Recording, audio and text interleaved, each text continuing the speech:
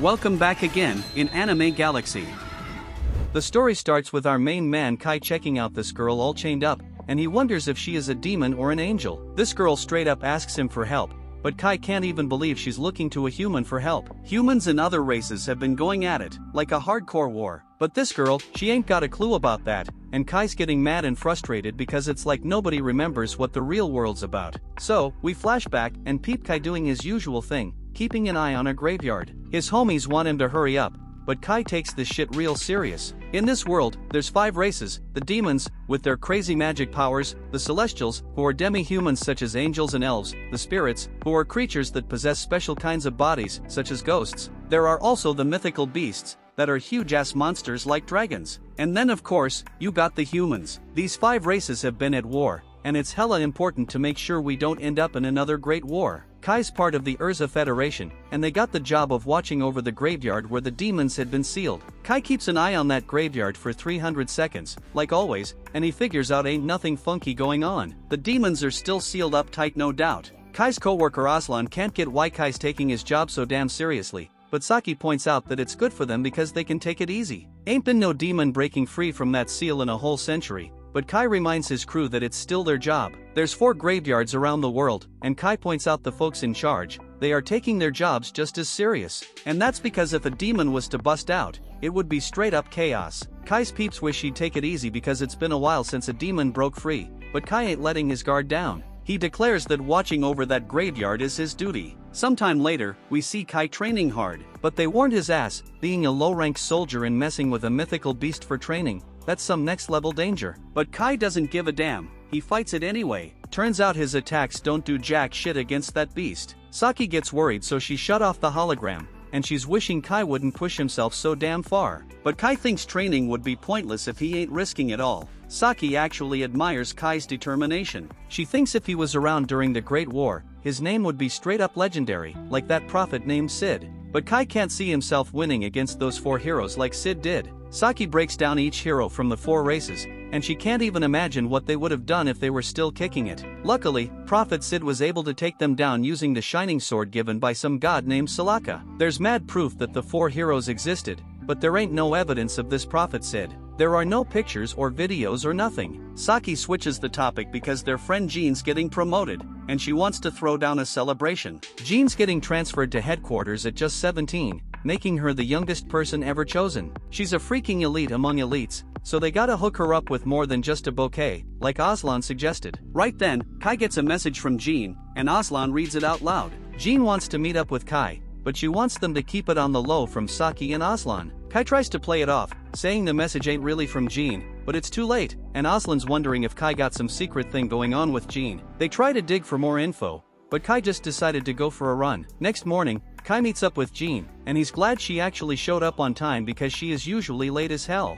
She wonders why Kai is all dressed up when he is off duty, so he explains he just came from his morning self-training, something he does every damn day. Jean wants him to roll with her while she goes gift shopping, and she says she looking for presents for Saki and Aslan. She knows they planning to get her something, so she wanna give them something back. Jean says she probably won't see them again, but Kai assures her she gonna be back as a cadet after her transfer, in like two years. Jean predicting that by then, Saki and Aslan gonna be done with their military service and living civilian life. Only she and Kai gonna still be in the military grind. Kai's totally on board with her, but he can tell she's upset. He knows what's wrong and reassures her not to stress, because he's damn sure she's gonna outshine her dad, the big boss at Urza headquarters. They keep having a blast, but Kai ain't paying much mind to Jean's shopping because he's hunting for something for himself. At the end, Jean gives mad props to Kai for helping her score some sick gifts. Then they start chatting about how Jean's dad took Kai to check out the graveyard back when he was just a 10-year-old. Kai wandered into that graveyard, and when he came back,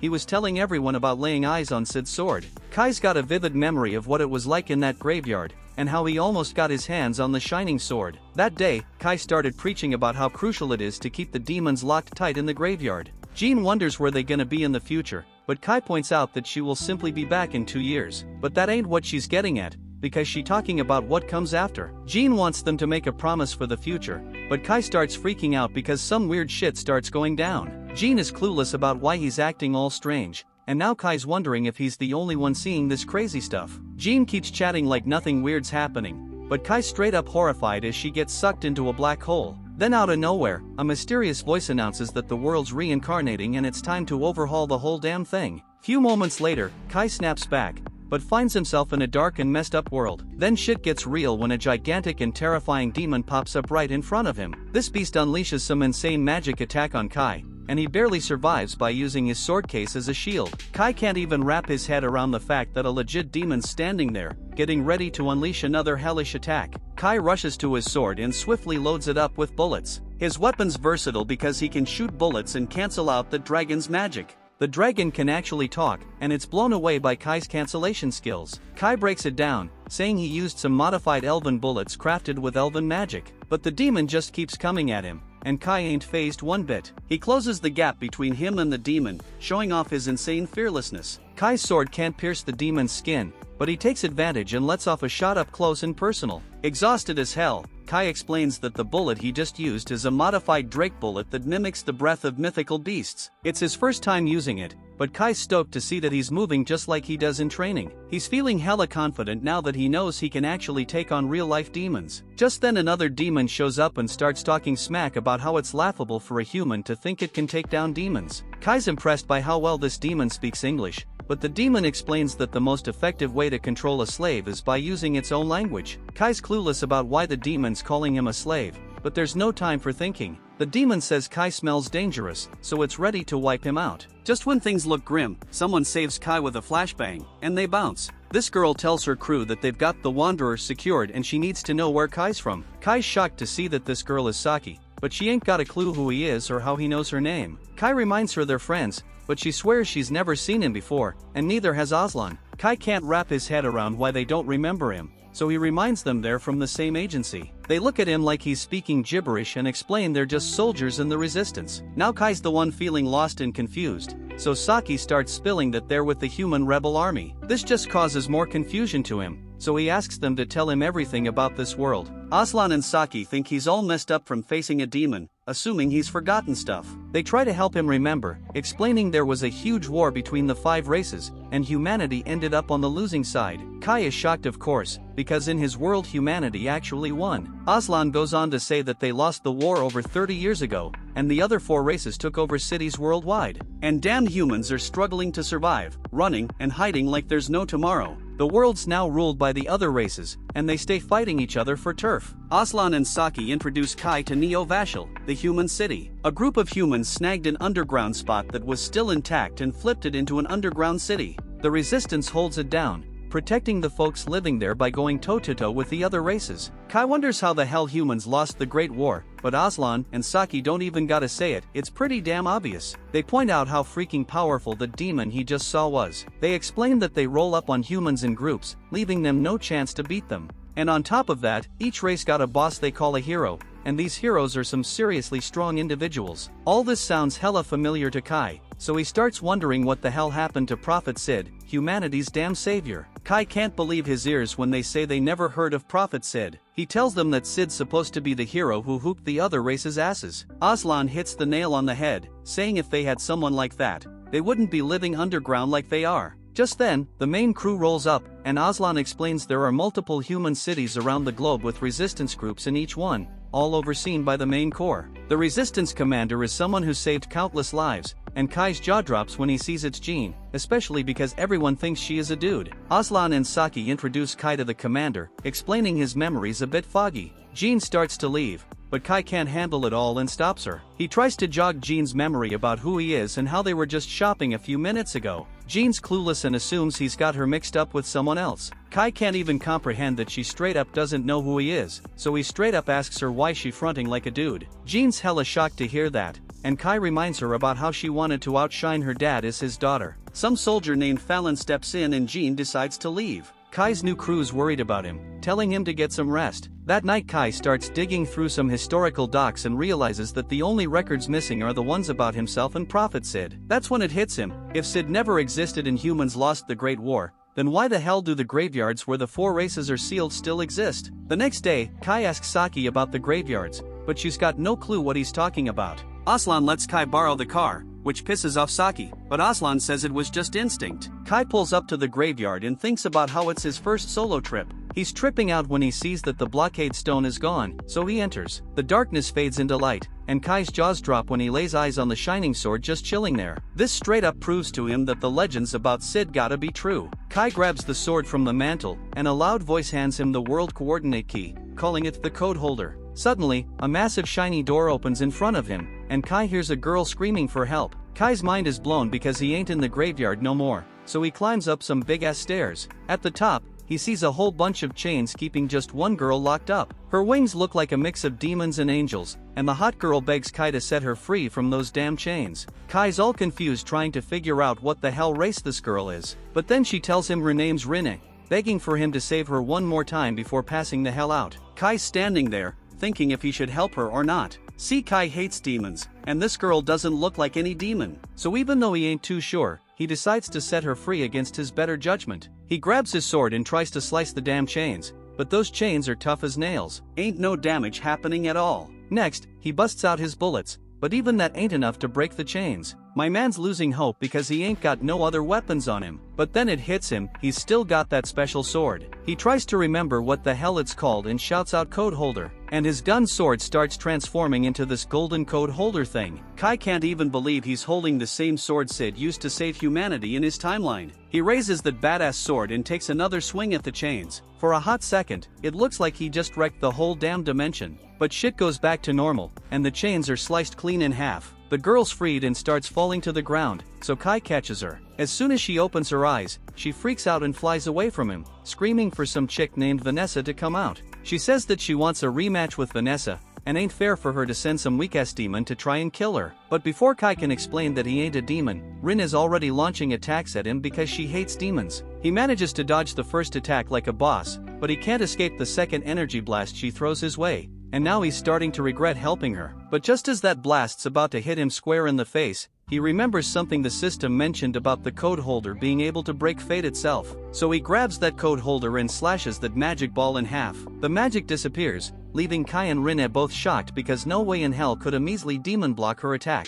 Finally, Kai spills everything and tells her straight up that he ain't a demon. He asked her where the hell she even got that idea because he ain't has no wings or tail, so clearly he is just a damn human. Rinne realizes she messed up big time, so she apologizes for mistaking Kai for a demon and attacking him suddenly. But she has this deep hatred for demons, so whenever she sees one, it's all about that violence, no questions asked. Luckily, Kai hates demons too, so at least he knows for sure she ain't one. But he is still clueless about her race, so he asks her, but she pleads with him not to ask her about that. Kai agrees to drop the race talk for now, but he has other questions, like where the hell they at. But Rinne had no clue either, all she remembers is fighting Vanessa, and then she suddenly stuck in this place. Kai recognizes the name and asks if it's the same Vanessa who's a hero to demons, and Rinne confirms it. That surprises Kai because Rinne picking fights with heroes and all. So he asks if she is really that strong, and Rinne proudly claims she could wipe out a whole damn army of demons if she felt like it. But she also admits that Kai's just as impressive because he managed to block her attacks. She is curious about how he pulled it off, so Kai is about to spill about his sword. But just then he peeps a portal behind Rinne, and out comes this ugly ass monster. The monster starts talking about some fate singularity entity waking up and how it's a major threat to the new world, so it's gonna start doing its thing to get rid of it. The monster tries to take out Rinne, but Kai swoops in and saves her at the last second. This monster has serious power, so Kai says he and Rinne have no choice but to run, and she agrees. So he grabs her hand, and they both dip. Unfortunately, they don't even know where the exit is, and that monster still got access to the portal. It reaches its nasty ass tendril into the portal and snatches Rinne. Then it declares it captured the singularity and starts this termination protocol, forming orbs to erase Rinne from existence. Kai can't handle seeing that, so he decides to stop standing around and take action to save her. He busts out the golden sword again and slices that monster's tendril in half, wreaking havoc on the dimension in the process. The monster spots Kai and peeps that he's holding that forbidden sword, but it can't wrap its head around why the hell the sword's here or how a human like Kai got his hands on it. Now that Rinne is free, Kai ain't sticking around to find out what the monster's planning. He grabs Rinne and jumps through that hole in the dimension, taking them back to the graveyard on Earth. Kai's a bit confused, but he's relieved they made it out in one piece. Rinne is feeling hella relieved too because she was scared shitless she might kick the bucket. This is the first time anyone's ever given a damn about helping her out. Her whole life, all the other races have been telling her she ain't one of them, and the demons have been the cruelest, always calling her an abomination. That's why Rinne got into that massive fight with Vanessa. Kai tries to comfort her, saying he knows how she feels because all his friends don't remember him no more. He feels like he's all alone in this messed up world. The history he remembers is one where humans won the Great War of the Five Races. But in this world, demons seem to be taking over the human cities. Rinne is a little confused because she doesn't remember demons ever getting the upper hand against humans. In fact, around the time she fought with Vanessa, humans were starting to kick demon ass, and the demons were whining about it being because of the human hero. Kai gets all hyped and asks if Rinne remembers Sid, but she never got to meet him, so she can't say for sure. Kai realizes he might have overreacted, so he apologizes to Rinne. But at least they know they come from the same past, so they gotta be connected somehow. Rinne gets close to Kai and says he's the first person to ever stand by her side, and that shit makes her hella happy. A little while later, they bounce from the graveyard. Rinne asks Kai what he plans on doing now, but before he can answer, Rinne collapses from exhaustion. Kai's worried and figures it's because of that attack she took earlier, so he helps her up and says he's gonna head back to the city, and since she has no place to go, he invites her to stay with him while they're there. Rinne ain't too sure about rolling to a human city because she doesn't trust people like that, so Kai asks her why, and she says she can't trust anyone except him because he saved her ass. He tells her she should trust that he'll keep her safe and asks her again to come with him. He lets her know she can bounce if she ain't feeling it, no hard feelings. So in the end Rinne agrees to go with him. Back in Kai's house, dude's lying on his bed while Rinne is taking a shower, and he deadass exhausted from the drive back home. Rinne had never been in a car before, so she was freaking out the whole time and nearly making him crash left and right. Lucky for her, she hid her wings, so once they got here, nobody could tell she ain't human. But her weird behavior still got folks on edge. She even tried to throw down with some magic at one point, and Kai had to hold her back. But he gets why she is so cautious because she is around a bunch of strangers. Then Kai's attention turns to his sword. He ain't even noticed when it went back to normal, so he grabs it and is about to say code holder to see if he transforms again. But before he can do that, Rinne comes running out of the shower, begging for help because she can't figure out how to turn off the damn water. Kai tells her he'll help, but for now, he can't look because she ain't wearing any clothes. Once the shower's off, Rinne gets dressed and starts talking about how humans got all the good shit. Even with their messed up society, they still got that warm ass water to shower with, while Rinne had to bathe in a damn waterfall. And also humans got the soft beds too. But on the surface, everything's destroyed. So she finally gets that Kai wasn't messing around when he said demons took over the city. Kai had his doubts at first, but meeting Rinne confirmed he ain't losing his mind. Now he knows for sure they are in a world where the race war results got messed up. The real history is the one where Sid became the human hero. But in this reality, dude never existed for some reason. Rinne suggests they gotta find a way to escape this reality and get back to the old one. That's the solution to their problem. But Kai doesn't know if there's actually a way to make that happen. They hit the bed after that, but late in the night, Rinne jolts awake and warns Kai about some strong-ass magic vibes, meaning the demons are launching an attack. Outside, the demons just busted through the city's ceiling and going on a rampage. Kai already knew humanity was screwed in this messed up reality, but he didn't realize how damn helpless humans were against demons. Ain't no hero around to save them either. So Kai decides he gotta step up and take Sid's place for the sake of humanity. The defense units start blasting bullets at the demons, but they know the little bullets ain't gonna do shit. So Saki darts off to grab the machine gun, but right before she gets to it, a demon rolls up behind her, about to cast a spell. But at the last damn second, Kai jumps in and saves her, knocking that demon to the floor. He tells Saki to use water against the demons because if they soak that shit up, they'll get too heavy to fly. And once they grounded, she should toss some grenades their way. Just then, Kai notices a demon turning Aslan into a freaking stone. So he fires an anti-magic bullet to break the spell and save his life. The demon then sets its sights on Kai,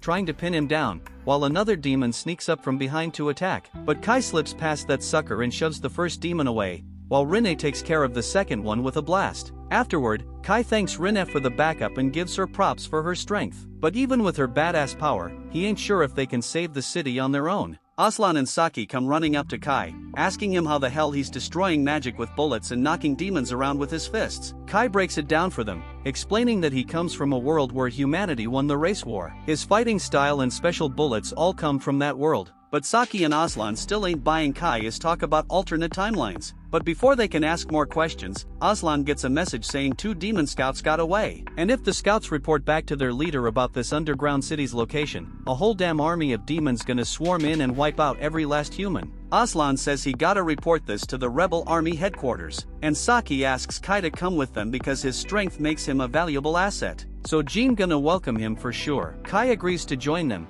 and they all head to the headquarters in the old royal capital. That place got wrecked years ago, but that's exactly why they chose to set up their headquarters there. Demons ain't gonna think of searching for them in a destroyed place. The one who came up with the idea was Jean's dad, but he retired as the head of the rebel army two years ago because of an injury, so Jean took his spot. They roll up at headquarters, and both Kai and Rinne get brought in to meet Jean. She already got the reports from Aslan, so she asks Kai to spill about this alternate timeline he mentioned earlier. Kai spills on all he knows, but the other big shots in the room call him a liar for dropping such a ballsy claim. But Kai brings up how he and Jean were tight as kids in the previous timeline. He mentions Augustin and Gur, the nicknames Jean always wanted to be like. The names catch Jean's ear, but she keeps quiet for now and decides to wrap up the meeting. Later that night, Jean wants to link up with Kai. Seems like she's starting to be a bit more open to the idea that Kai might have been spitting the truth. Not many folks in this world know she's a woman, and August and Gur were her dad and grandpa's nicknames. But that doesn't mean she believes every damn word he said. Still, she thinks his fighting skills and knowledge can be trusted. She lays out a plan to link up with other human cities and push back the demons planning to invade Neo Vashel. But Rinne ain't feeling it. She thinks that plan's just gonna attract more and more demons as time goes on. Plus, if some high-ranking demon shows up, the whole thing's gonna go to shit. Jean knows it's a risky move, but she can't think of nothing better to protect the homes of the survivors. That's when Kai drops a bomb, he says they only gotta take down one demon to solve this mess, and that's Vanessa the hero of the demons. Jean thinks it's straight up crazy to even consider going up against a powerful demon like Vanessa, but Kai's confident that the code holder can handle her. He says he and Rinne gonna be the ones to go head to head with Vanessa. Demons are more focused on scraping with other races, so most of them won't be riding with Vanessa. All Kai needs is for Jean and her crew to hold off the rest of the demons while he goes to engage Vanessa. After Jean agrees, they waste no time and start prepping to take back the Urza Federation. The scene jumps to Kai and the crew gearing up for the big battle. Rinne is all fired up, ranting about how much she hates different kinds of beings. She hates demons because they're shady and deceitful, spirits because they're creepy as hell, mythical beasts because they're straight up savage, celestials because they're stubborn as a mule, and humans because they're weak and fragile. But the kicker is, she hates herself the most because she's got a bit of all those traits in her. Despite all that, Kai's the only one who wasn't afraid of her, who saw her for who she really is and accepted her. She's really hoping he doesn't die on her. Then the scene shifts to the Urza Federation's army marching towards the government palace. Saki is in disbelief that their small squad is the one taking on Vanessa. She thinks the plan's got a shot because Jean is leading them, but she's still worried about going up against Vanessa. She questions what they're supposed to do with just the four of them, and Kai says a small squad is the key to reaching Vanessa quickly and unnoticed. Saki gets it, but she still isn't thrilled about being part of this risky plan. Kai then turns to Saki and Aslan, telling them they're the only ones he can trust to have his back. Saki's still pretty scared, but Rinne steps in and gives her a reassuring pat on the head, which calms her down a bit. Rinne tells Saki not to worry, reminding her that she's strong and won't lose to anyone except maybe Vanessa. Saki nervously asks what happens if they do run into Vanessa, and Rinne confidently says she'll handle Vanessa herself, even if it comes to blow herself up with her. Saki begs Rinne not to go through with such a dangerous plan, and Aslan chimes in, sharing his own worries. He points out that they have no idea what condition the government palace is in and fears the demons might spot them if they move in a big group. Kai reassures him, explaining that demons are sensitive to magic and won't notice them because humans don't have magic. Aslan feels a bit more at ease and wonders if Kai picked up this knowledge from his world. Kai observes that Aslan seems pretty calm, but Aslan admits his hands are actually shaking. He adds that if they manage to defeat the demons, they'll be famous worldwide and might even get some rewards. Kai tells him that he's more reliable than the Aslan he used to know and says he's counting on him. They then arrive at their destination, ready for whatever comes next. Jean gives a speech to boost the morale of the soldiers. She knows some of them might be worried because of the short preparation time, but she reminds them how long they've been fighting. She tells them all that fighting was just the build-up for today. They've only been nurturing their spirit and will to fight for so long,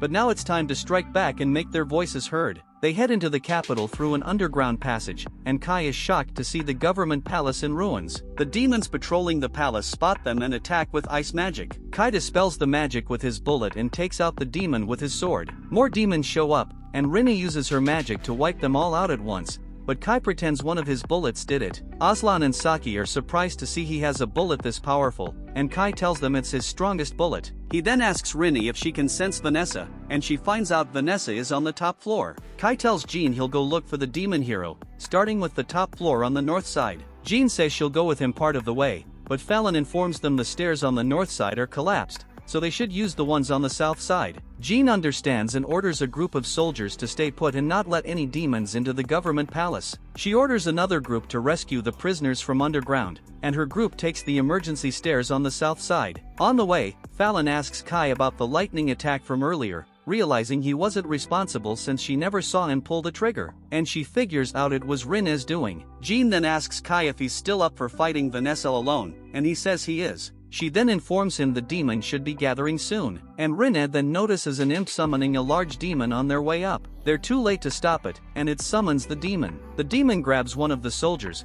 but Fallon saves him, telling the others to go on ahead while she deals with this small fry. They leave her behind to handle the demon, and outside, the group of soldiers are also fighting some demons, and the second group saves the captives, and Jean and the others head into a room. Jean gets hit by a powerful lightning attack as soon as she walks in, but she's totally fine. Rinne notices she's wearing an elven garment and Jean explains it's a magic item called the Sacred Light Garment, which they got from an elven village. Jean says this is the best thing for magic resistance. She tells them her forces will handle the demon and tells them to move on. Kai and his group move forward and put on some armbands. Saki is surprised to learn these armbands will keep them hidden from demons and wonders how they work. Rinne tries to explain its barrier magic, but Kai warns her not to. Rinne says a human made it by copying angelic barrier magic. She explains it bends light to hide them, and they continue on. A demon approaches them, and Saki tries to attack, but Rinne stops her. The demon passes right by them without noticing. They're all relieved the barrier is working, and soon they reach the breaker room. They tell Saki and Aslan to stay there and cut the power if it looks like they're losing to Vanessa. Kai explains they'll use the dark to escape, and he'll send a signal when it's time. Kai and Rinne move on, but then they hear an alarm. Kai worries they've been found, but Rinne says her barrier should still be up, and Kai realizes it might be the building's infrared sensors. They keep going and spot some demons waiting for them. One demon says that human machines come in handy sometimes, revealing that the demons use the surveillance system to track them. Kai asks if this demon maintains the system, and he learns that Vanessa suggested using it. Since the slaves handle maintenance, it's hassle-free, and the demon hero is pleased with the invasion. The demon is curious why they'd risk a suicidal mission. Kai asks him to lead them to Vanessa, but the demon says he'll use them for his own amusement. He and the other demons then attack Kai, but Rinne quickly flies him out of the way and takes him to the stairs leading to the next floor. She blocks off the demons and tells Kai to go ahead while she handles them. Kai isn't happy with this plan but has no choice, so he moves forward. The demons then catch the scent of every race coming from Rinne, and they're confused about what she is. Rinne says she doesn't know and admits she hates demons.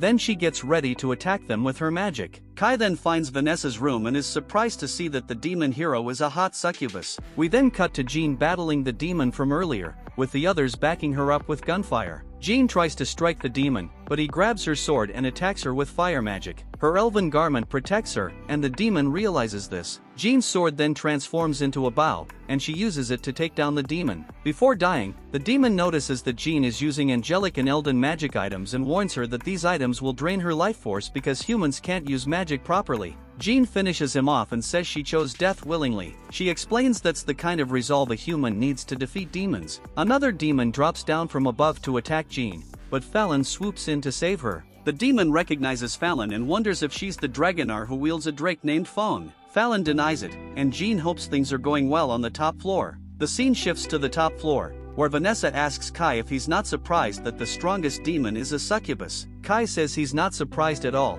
and Vanessa finds him interesting. She mentions she wanted to charm him into becoming her slave, but didn't expect his reaction. She asks if he's the commander who uses the elven garment, but Kai says he's not, he's just an outsider. Kai says he's from a world where she was defeated, but Vanessa tells him no such world exists. Kai doesn't care if she believes him or not, he explains he ended up in this world against his will and that, according to the history he remembers, the Great War of the Five Races ended years ago. Vanessa asks Kai which race managed to defeat her, and she's amused to find out it was the humans. She wants to know which human did it, and Kai tells her it was Sid. The name triggers some memories for Vanessa, but she quickly pushes them aside and tries to use her magic on Kai, but Kai cancels her spell. Kai then attacks, only to discover it's an illusion. Vanessa strikes from behind, but he dodges. She notices his weapon is unusual and realizes it must be from his old world. Kai asks if she believes him now, but she dismisses him as arrogant and hits him with a powerful flame spell. He deflects the attack, surprising her.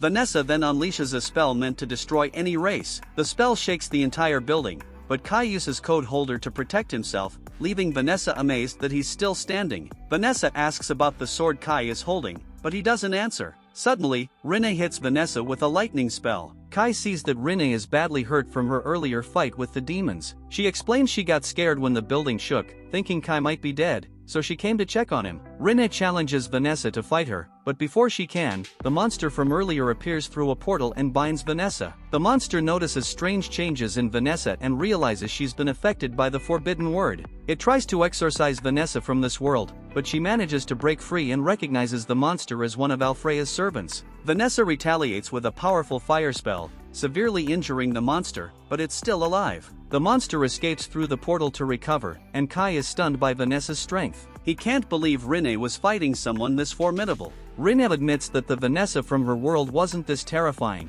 and she's genuinely frightened by her power. Vanessa then tries to heal her injury by focusing her power, but it doesn't work, so she decides to prioritize dealing with Kai and Rinne instead. Rinne knows they don't stand a chance against her, so before Vanessa can attack, she flies in and tackles her, telling Kai to get out of there because she won't be able to hold Vanessa off for long. Rinne throws up a shadow prison barrier around herself and Vanessa to buy some time. Vanessa sees its spirit magic, but it's way too weak to stop her. Rinne gets thrown back when Vanessa breaks through the barrier, but before Vanessa can finish her off, Kai charges in to attack. Since Vanessa is focused on him now, she redirects her blast at him instead. Kai manages to block most of it, but he still looks pretty messed up. Rinne can't believe she let Kai get killed. Vanessa taunts her, asking if she plans to avenge Kai's death or if she'll just run away. Rinne is fed up with Vanessa's trash talk, so she's going all out to make sure Vanessa pays for this. Rinne unleashes her full power, and her body starts showing traits from all five races. Vanessa thinks it's amusing,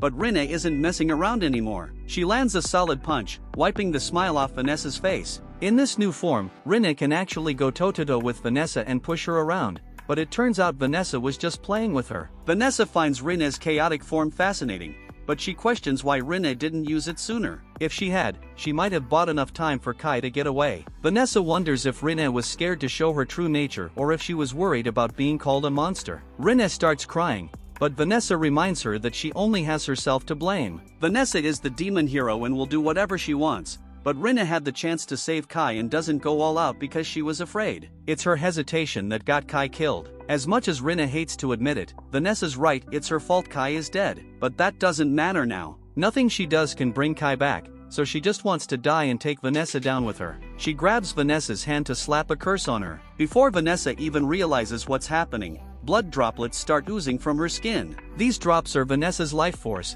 and there's no way to defend against them. They'll keep falling until both Vanessa and Rinne are dead. Normally, this would be game over for Vanessa, but she's still got a card to play. Suddenly, Rinne collapses, and Vanessa explains that even though the curse can't be blocked, its power depends on the caster's magical strength. Rinne usually would have had enough magic to make it work, but they're in Vanessa's base, and she had set up some major countermeasures for attacks from other races. Behind Vanessa is a huge curse circle that messes with spirits, magical beasts, and celestials. Since Rinne is all three, the curse is hitting her three times as hard, so it's crazy that Rinne lasted this long. She can't even get her revenge for Kai, so she just sits there and apologizes for not being useful. Vanessa's getting fed up with Rinne's weak act, so she gets ready to finish her off with one last blast. But before Rinne gets killed, the blast is blocked by Kai, who's somehow still alive. He tells Rinne there's no need to apologize, and that she was actually really helpful because her fight with Vanessa gave him enough time to wake up. Rinne can hardly believe Kai is still alive, and Vanessa can't either, so she asks him how he survived.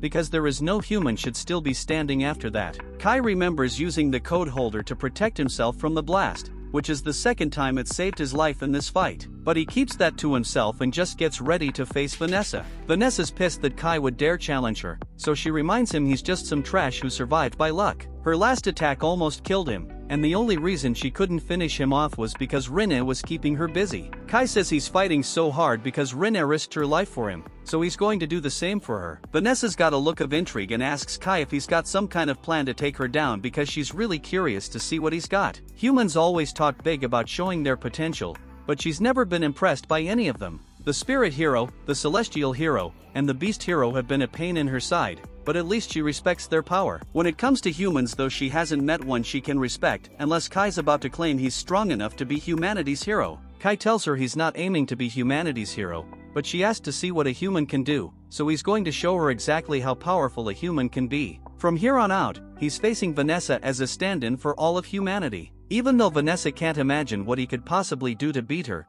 she decides to take him seriously. She uses her magic to summon a mini meteor to smash Kai, but Kai slices it into pieces with the code holder. Vanessa's impressed he cut through her magic so easily, but she's far from done, so she starts casting a bunch of Hellflame spells. While she's at it, Kai calls Aslan and tells him to cut the power, so all the lights in the place go out. Vanessa realizes she can't see anything even though she's got a literal flame on her shoulder, and since Kai doesn't have any magic, she can't sense him either. But even without magic, the sword is loaded with magical energy, so she targets the sword with her Hellflame attack. As the dust clears, she's shocked to find Rinne holding the code holder while Kai is already behind her. All those years Kai spent training finally pay off. He locks Vanessa in a combo and has Rinne toss his sword over so he can finish her off. The last thing Vanessa says before getting sliced is, I guess I lost. Good game human. As Vanessa collapses to her knees, her body starts falling apart from all the damage. Rinne and Kai notice something's up with her, and then Vanessa's memories come flooding back. She remembers everything about Sid and the whole world reincarnation deal. She can't believe she let herself fall for it after Sid warned her something like this could happen.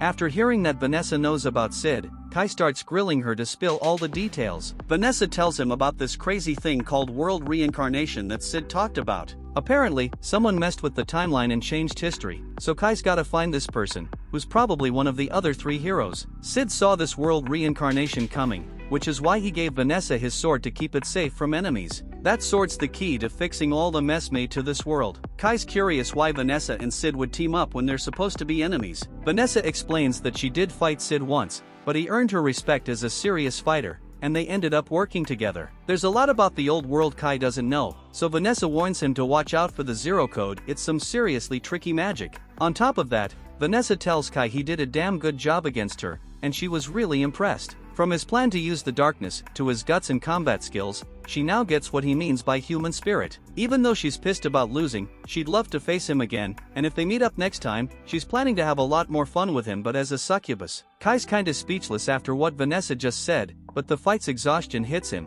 and he ends up dropping to his knees. Still, he's relieved he actually took down Vanessa. Word about Vanessa's defeat spreads fast, and soon all the human survivors are back at the Urza Federation, ready to start taking it back. Things are finally looking up for the humans, but while everyone's celebrating the win, Kai's stuck on what to do next. Rinne notices he's off and asks if something's wrong. Kai mentions he thought something happened to them, which is why they're the only ones who remember the old world. But if Vanessa's right, then it's actually the other way around. The world got flipped upside down, and somehow they're the only ones who stayed the same. Rin is saying she wants things to go back to how they were because this new world freaks her out, and Kai's on the same page, but he's got no clue how they'll set everything straight. Just then, Jean rolls up to Kai and Rinne to show her thanks. Even though the place is a wreck right now, the only reason humans managed to take back their city is because of what Kai and Rinne did. That's why she wants to thank them on behalf of the rebel army. But she notices Kai and Rinne don't seem too thrilled despite their win. Kai tells her he's actually relieved he won, because he doubts he'd be able to take Vanessa down if they crossed paths again. Now that Vanessa's out of the picture, humans can rebuild the city,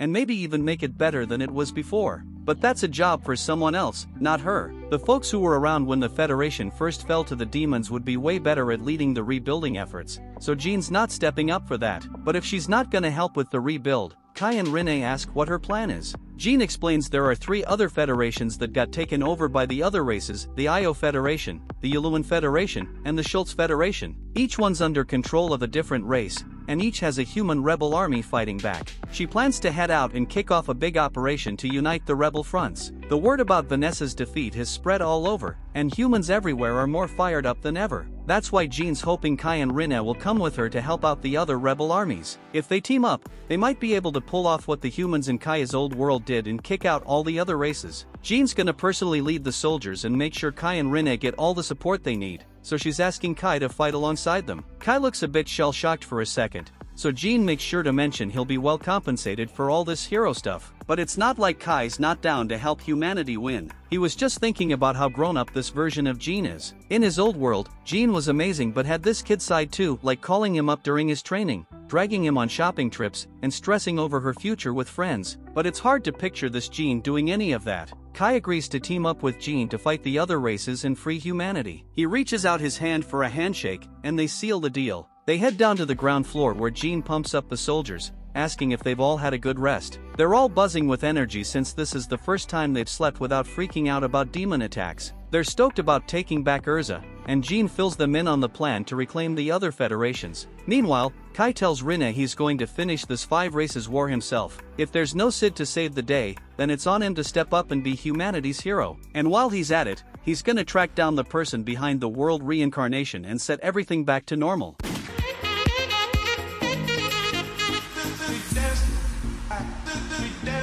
If you like the video, don't forget to like and subscribe to let the world know about our love for anime.